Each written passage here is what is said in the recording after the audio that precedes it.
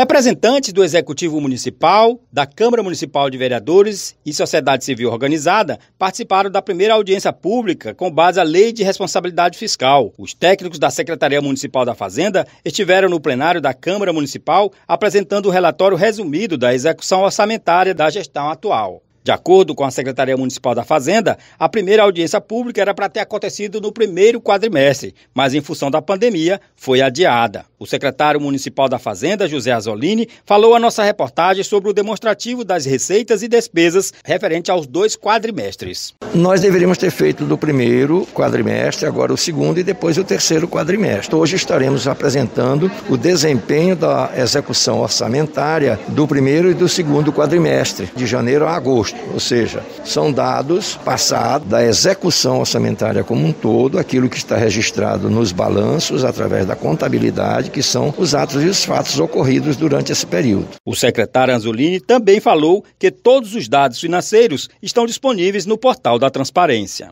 Essa documentação ela está toda colocada no portal da transparência. Qualquer auxiliar de qualquer vereador, de qualquer organização, é só ter acesso ao portal de transparência e lá vai retirar toda essa documentação, todos esses lançamentos que estão lá em diversos quadros, em todas as rubricas, tudo discriminado. Inclusive, alguns vereadores que nos procuram para algumas explicações através da sua assessoria é porque utilizam exatamente o portal. Para a co-vereadora Eunice Tchê, do coletivo Nós, que participou da audiência pública, disse que o prefeito deixou de executar muitos benefícios aos ludovicenses, utilizando recursos referentes à LDO, Lei de Diretriz Orçamentária. E ela disse que dinheiro tem. O coletivo Nós, ele vem acompanhando todo esse processo em relação à questão do orçamento público da Prefeitura de São Luís. E aí a gente sabe que o prefeito deveria ter realizado as audiências públicas no primeiro semestre e minimamente até setembro para apresentar as primeiras prestações de contas. Isso não foi feito. E a gente entende que existem muitas deficiências, porque recurso tem. Então, recurso, ele precisa ser apresentado